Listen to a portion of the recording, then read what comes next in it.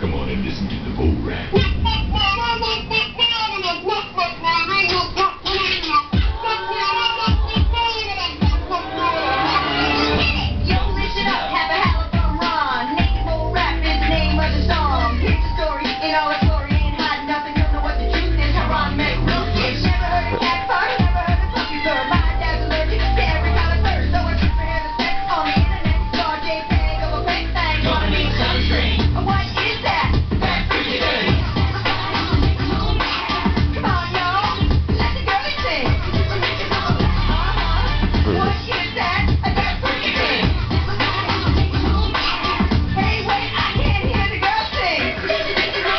Marty